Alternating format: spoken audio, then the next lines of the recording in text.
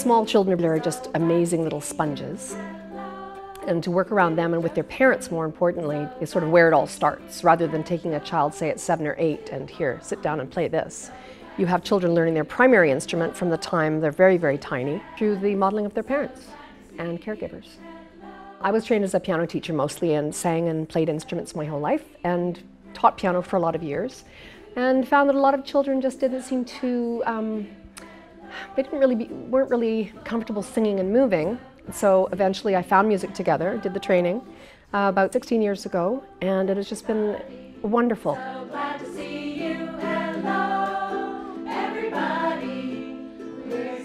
in these early years, they can absorb every, anything you throw at them.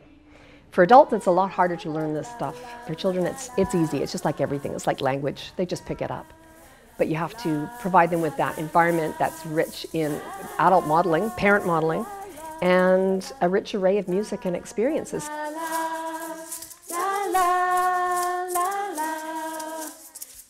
The connection that the that children have with their important adults their parents, their, their grandparents, and their caregivers. Uh, the musical connection is, is very, very, very strong. There's um, all kinds of theories about the endorphins that are released when we, when we sing together. And there's the, the parent-child, um, the importance of that connection, but there's also the musical community, the greater musical community. So the other parents in the group are also modeling for every child in the room, as well as their own child. Um, most of the important stuff happens, I should say, at home between classes. Uh, the classes are wonderful, but at home is where the experimentation happens. The class is sort of like a, um, a child's lab. So they go home and they test their hypothesis about music by doing it at home, by experimenting, by singing. And we hear this, we know this because parents tell us this all the time. I just love how it's introduced music into our lives. You know, I think normally it's it's not as uh, ingrained in our culture as maybe it used to be. It's just wonderful to have that fluency enter into our world the kids. They dance and sing all the time. It's great because the teachers allow the kids to be kids. So sometimes they are running around or doing different things, and so I think it lets them experience music in a really natural way for kids. Don't you wish that you could flap your wings and fly? Woo, woo,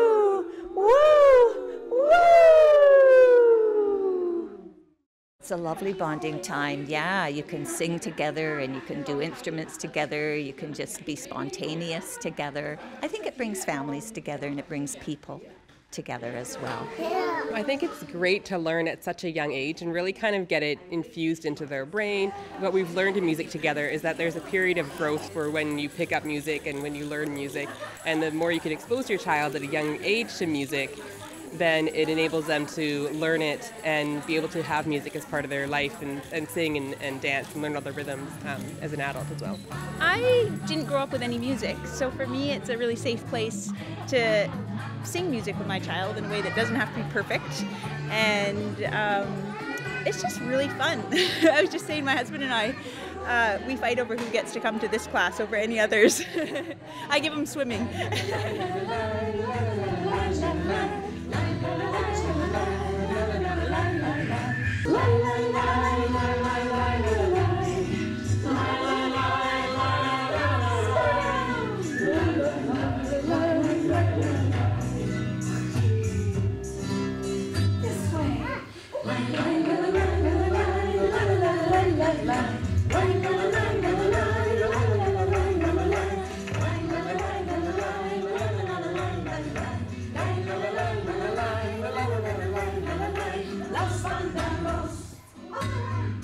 It's very rare in our culture that adults sing together.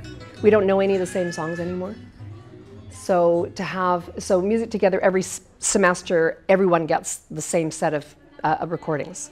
And so we break it down into harmonies, we do rounds, and we have these wonderful experiences making music together, which is a rarity. And so the children, of course, are part of that because they're there. It's immersive. And what we're trying to create is music immersion, just like language immersion. It's the same sort of thing. Rather than sort of trying to get children to do anything in particular, it's creating this immersive environment where children just learn from being in it, just like language. Just, it's just the same as language development. Yeah. Instruments, instruments, play along. Instruments, instruments, play along. It's about learning to love music in environments where you're comfortable and trying to get them comfortable in the class environment, but also bringing the music home and having it be part of your life at home and part of your day. Just making music fun and part of life. They're learning rhythm and melody and a little bit about music theory without knowing about it, so they think they're just playing, but they're learning a bit of music too. I'm gonna let it shine.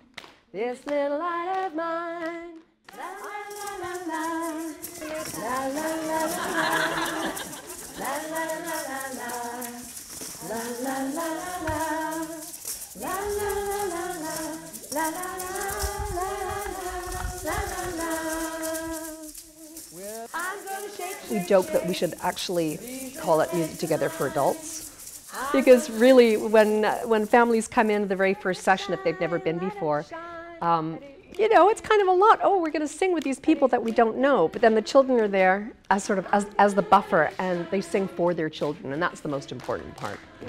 And so we're in the middle of the party. It's just the best thing ever. It's like you're at a party. Music is for everybody. Music is for everyone. Being silly with music, that's the access point. Play with music. That's what we do in music together. Everything is play.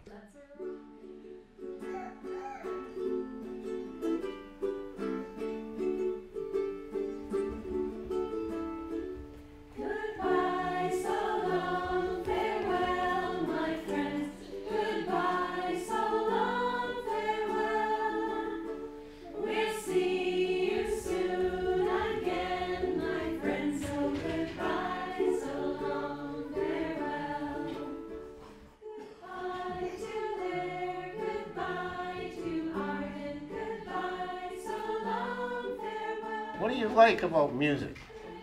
Everything. Would you say this is good for all kids to come and do?